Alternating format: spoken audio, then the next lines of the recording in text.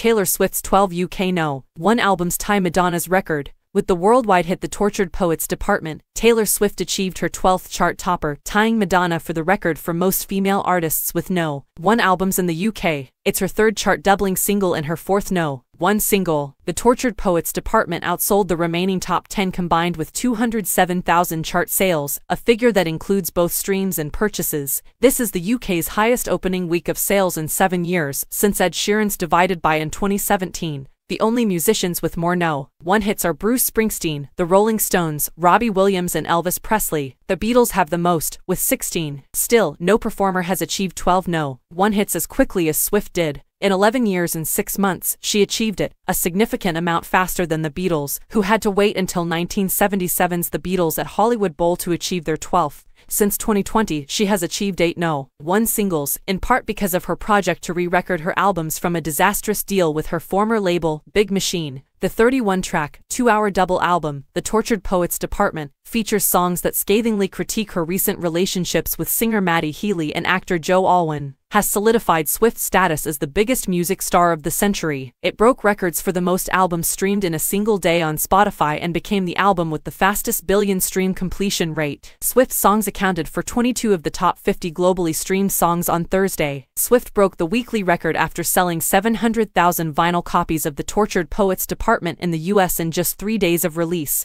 The fact that Swift sold almost 10% of the approximately 1 million vinyl albums that were sold in the US in 2023, most notably her album Midnights, makes that figure especially astounding. The remainder of the UK chart is rather weak, but Hozier, the number one single last week, outsells a few of Swift's songs and comes in at number two. Sabrina Carpenter, Swift's recent tour supporter, climbs to no. 5 with her upbeat Espresso, which is currently the second most streamed song worldwide on Spotify. With Dark Matter, Pearl Jam earns their 10th UK Top 10 album and joint highest ranking in the album chart, coming in at number 2. With their album UB45, UB40 reaches their highest position since 1994 at number 5. After spending its 1042nd week in the UK charts, Fleetwood Mac's Rumours jumps up to no. 9 thanks to a special record store day release. Now that TTPD is available, Swift is focusing on the upcoming portion of her Eras tour. She will start the European leg on May 9th with four nights in Paris, having wrapped up the Asia and Australia leg with six nights at Singapore's National Stadium in March. Eras will make their UK debut on June 7th at Murrayfield Stadium in Edinburgh. Later, they will play eight dates at Wembley Stadium, matching a record set by Take That.